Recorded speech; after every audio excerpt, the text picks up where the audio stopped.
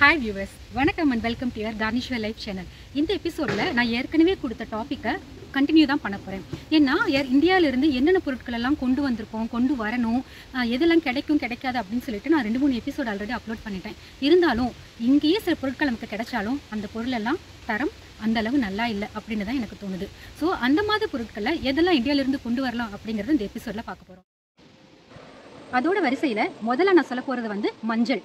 என்ன மஞ்சள் வந்து ஜெர்மனியில் கிடைக்காதா? அப்படின்னு நீங்கள் யோசிக்க வேணாம். கண்டிப்பாக மஞ்சள் வந்து ஜெர்மனியில் கிடைக்கும். நம்ம இந்தியாவிலேயே இருந்தாலுமே மஞ்சள் மட்டும் அவ்வளோ தரமானதாக இருக்கா அப்படின்னு மட்டும் செக் பண்ணி வாங்கிக்கோங்க. மஞ்சக்கிழங்கை வந்து வெயிலில் நல்லா ஆற வச்சு அதுக்கப்புறம் மிக்சிலேயோ இல்லைன்னா மில்லுலையோ கொடுத்து அடிச்சு கொண்டு வந்தீங்க அப்படின்னா அது ஃப்ளேவருக்கு மட்டும் கிடையாது. நமக்கு வந்து நல்லா ஆரோக்கியம் கொடுக்கக்கூடியதும் கூட மஞ்சள் தான். அதனால் அதோட தரம் கரெக்டாக இருக்கா அப்படின்னு பார்த்து செக் பண்ணி நீங்களே கையால் அரைச்சி கொண்டு வந்துட்டால் பெட்டராக இருக்கும். நம்பர் டூ பார்த்தீங்க அப்படின்னா ஏலக்காய். ஏலக்காய் ஜெர்மனியில் கிடைக்கும்.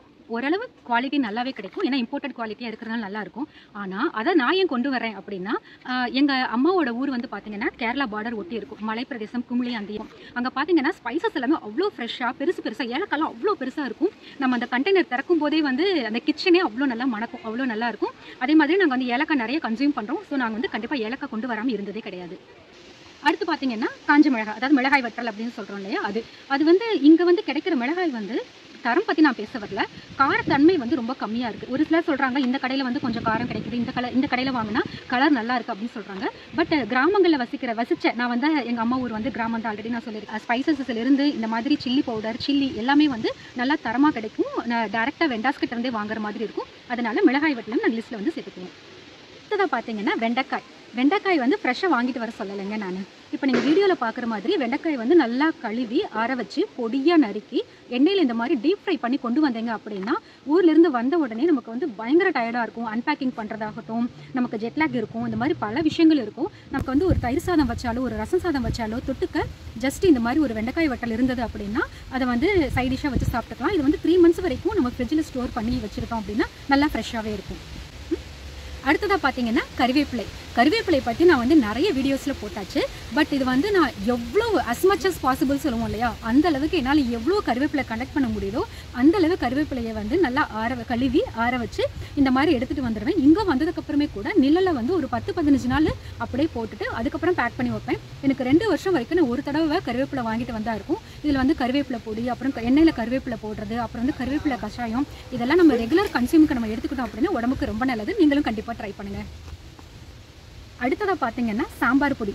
நம்ம என்ன தான் கடையில் சாம்பார் பொடி வாங்கினாலும் நம்ம வீட்டில் நம்ம பெரியவங்க மாமியார் அம்மா அவங்க வந்து அரைச்சி கொடுக்குற சாம்பார் பொடி மாதிரி மனம் வராது. அதனால் எப்போ சாம்பார் பொடி வாங்கணும் அப்படின்னு நினச்சாலும் நான் வந்து கடையில் வாங்க மாட்டேன். முடிஞ்ச அளவு இந்தியாவிலேருந்தே வாங்கிட்டு வந்து அதை ஸ்டோர் பண்ணி வச்சுப்பேன். அது வந்து நல்ல ஒரு கிளாஸ் பாட்டிலில் வந்து முத்து நல்ல ஏர்டைட் கண்டெய்னர் மாதிரி நம்ம மூடி வச்சு யூஸ் பண்ணோம் அப்படின்னா ரொம்ப நாளைக்கு வாசனையாகவும் இருக்கும். அதே மாதிரி ஃப்ரெஷ்ஷாகவும் இருக்கும். அடுத்ததாக பார்த்தீங்கன்னா டேமரின் அதாவது புளி. சாம்பாருக்கோட சுவையாகட்டும் ரசத்தோட சுவையாகட்டும் இதுக்கு வந்து புளி வந்து ரொம்ப ரொம்ப ரொம்ப முக்கியம்.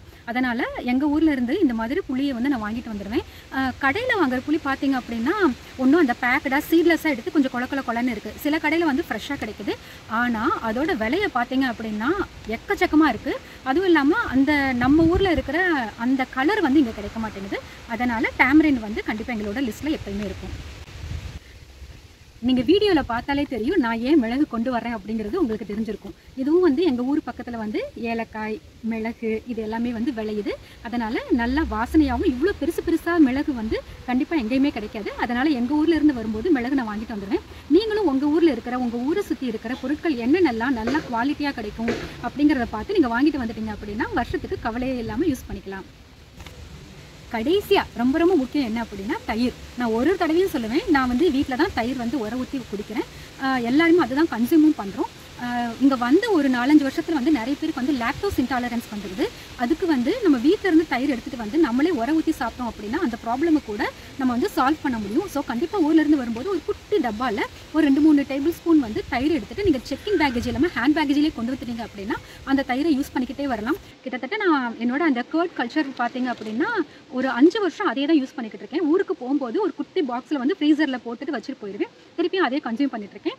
ஸோ நீங்கள் வந்து ஆரோக்கியமாக வாழ்றதுக்கும் ஒரு நல்ல வழியாகவும் இருக்கும். ஸோ கண்டிப்பாக அதை நீங்களும் ட்ரை பண்ணுங்கள் உங்களுக்கு இந்த வீடியோ பிடிச்சிருந்தா மறக்காமல் லைக் பண்ணுங்கள் அடுத்த வீடியோவில் இன்னும் ரொம்ப இன்ஃபர்மேட்டிவான இன்ஃபர்மேஷன்ஸ் எல்லாம் நான் சொல்ல போகிறேன் stay tuned until bye bye Kavitha.